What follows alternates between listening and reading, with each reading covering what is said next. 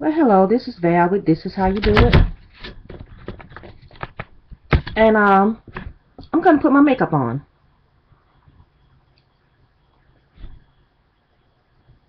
Well, the first thing I'm going to do is I'm going to put some concealer on my face.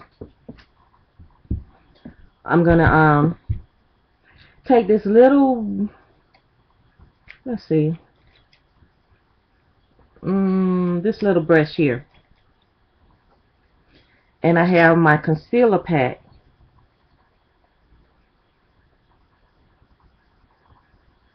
And I'm going to take some concealer and put it on my face. Let's see no that's too much light. Let me push it back some.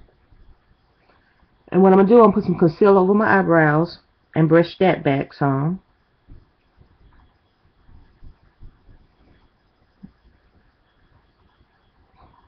Go ahead on and shake them while I'm here.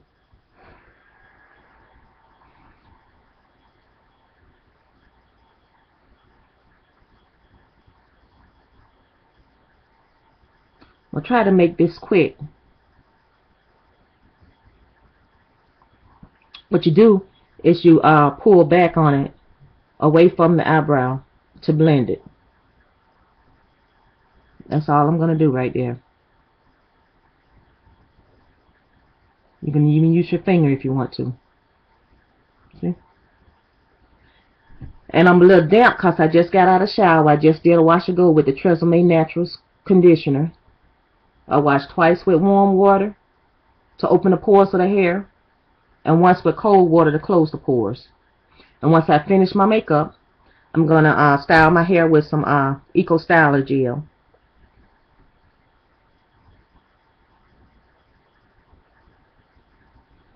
But once I closed the uh, pores of the hair, I did use some uh, olive oil, put it all over my hands to seal in the moisture. So that was washed twice with warm water, open the pores. Once with cold water, close the pores. And uh, olive oil all over the hands to seal in the moisture. And now I'm applying my makeup before I do my hair. This will be a separate video from my wash and go.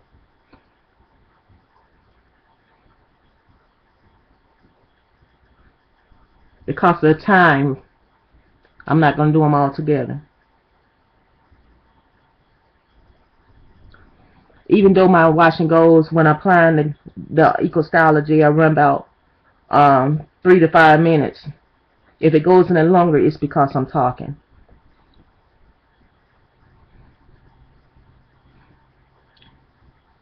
But that three to five minutes on a long makeup video is just too long. I'm putting some concealer on my lips also. I'll put a little bit right here to brighten that area. See, I have a um, a red thing going on with my face because I just got out of the shower. I'm a little flushed. But right now, I think I'm going to stop using the concealer. And go on to the next step. Which is the, um, the foundation. Not the foundation, but the uh, eye makeup.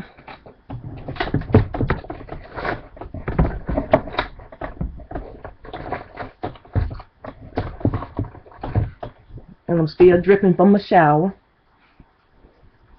So that's what I'll be rubbing on while I'm while I'm doing this.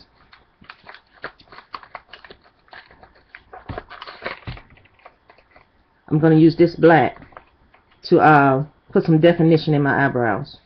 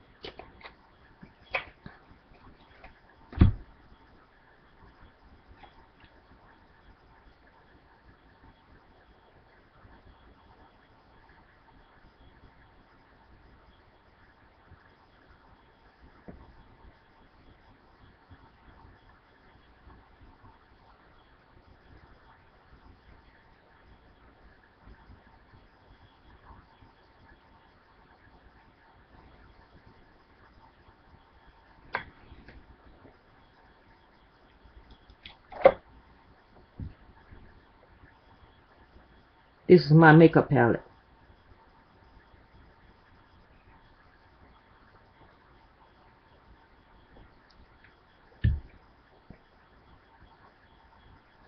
I'm going to put this on the bottom of my eye.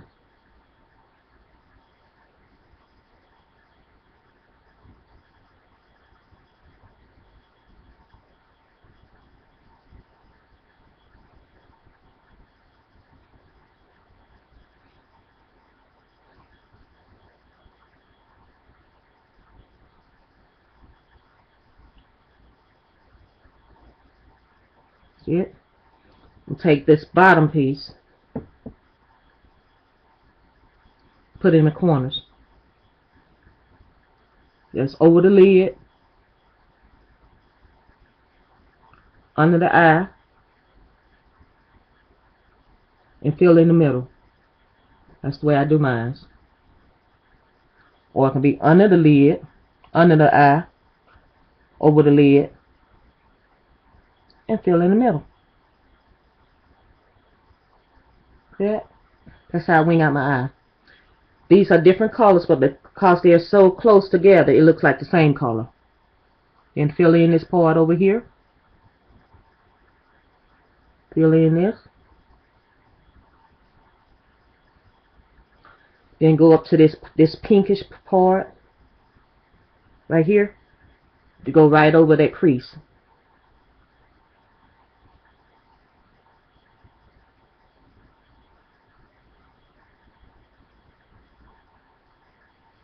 Close that up.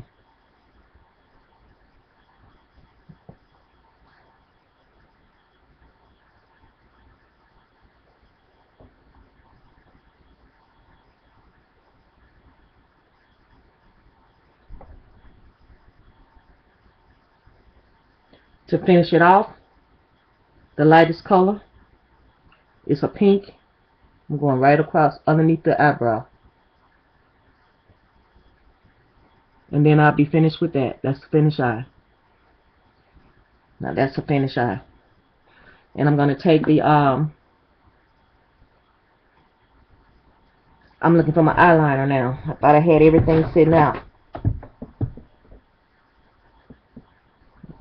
I guess I did.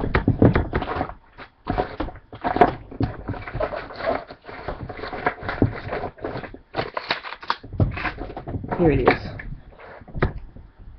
going to the eye.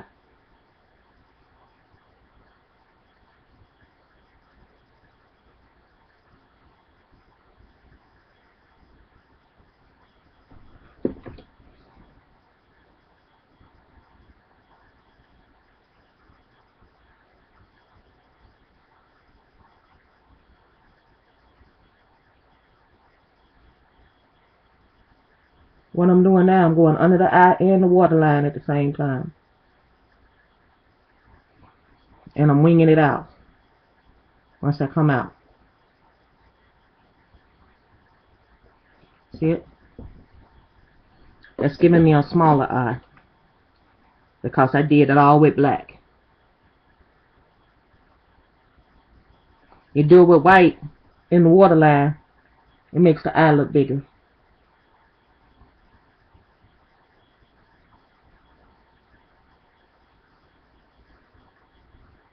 I'm going to close up the eye even more by making this over my lid wide.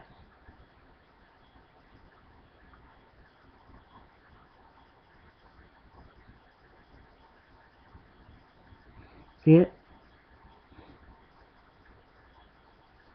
Then I'm close that wing in. And I'm also making it wide so when I set the eyelash on top of it, you won't see the difference between the eyelash and the eyeliner. Can try to do it so you can see it.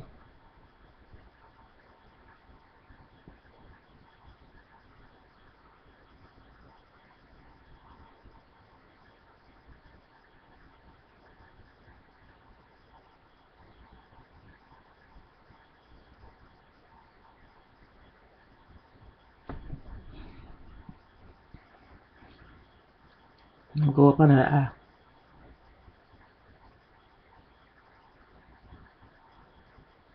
Mm. Wing it out. Go on the waterline.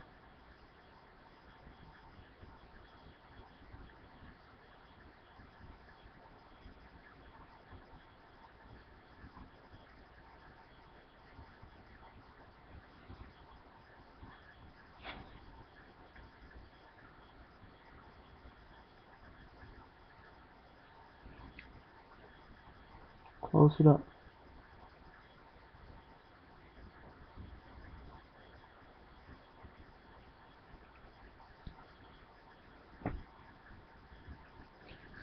while I'm sitting waiting on that to dry just a tad, I already have some found uh, found um concealer on my lips, but I'm gonna put this color on there, so when I drink coffee or something of that nature, and if the lipstick come off, it'll have this as a base. Let that dry.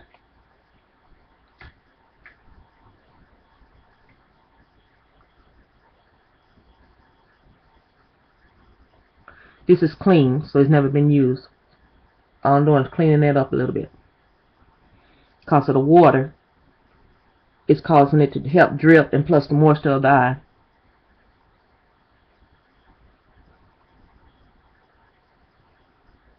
See how that clean that up? I don't know if you can see it.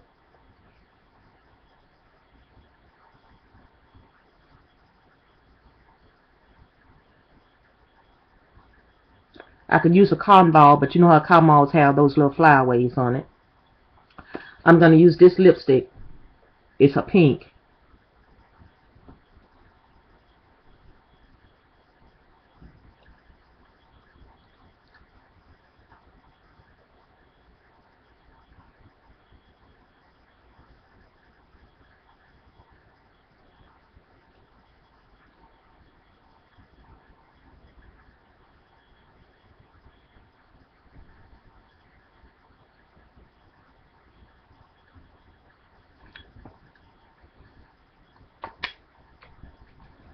What I'm going to do now is put my eyelashes on.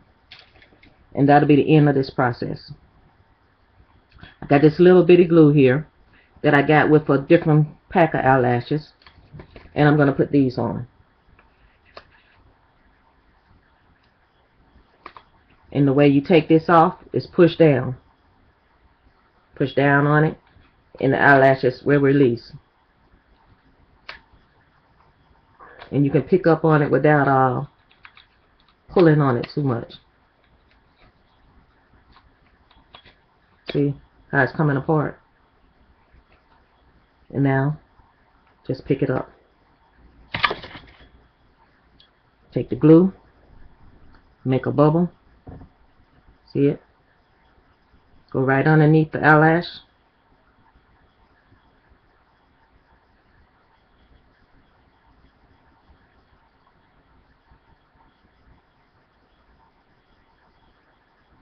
Not on the outside tip, but put in the other hand. Not on the outside tip of it like that, but underneath it. And that helps it uh, stay on the eye better. And because of the way this is turned, and I pull this one off first, you put it on this eye.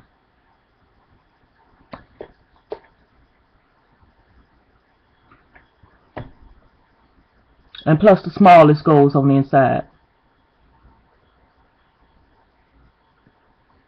Wait a minute, I want to put some mascara on my eyes to help it lean against that. It make, helps me put it on easier. So when I put the lash on, I can see my lashes without gluing my lashes down. And plus, the false eyelashes, I have something to lean against once I release it. And it won't fall off my eye onto my face. Now let's try it again. And plus that gives this a time to uh, get a little sticky.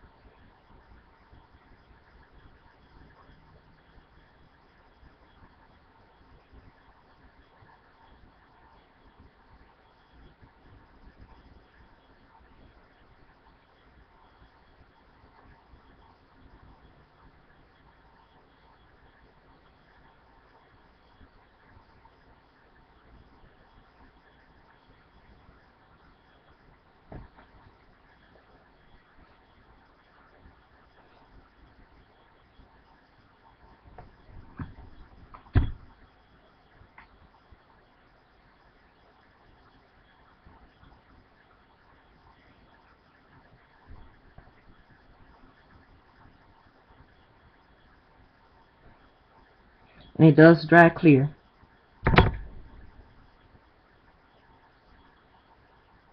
That's on. Now we can go to the next eyelash.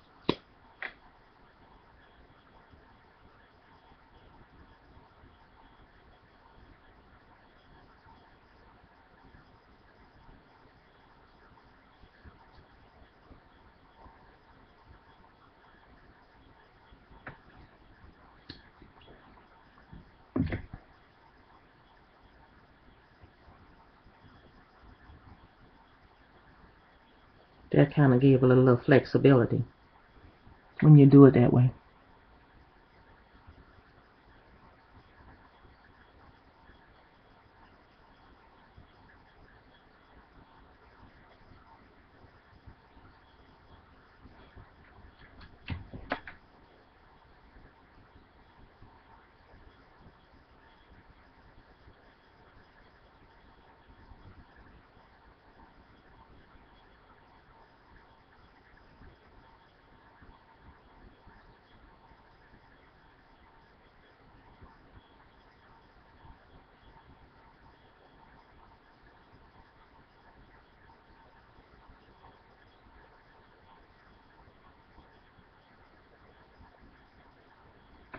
See it?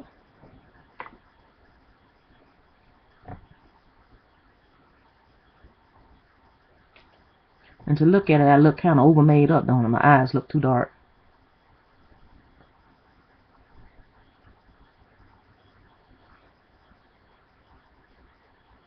But once the hair get done, it all comes together.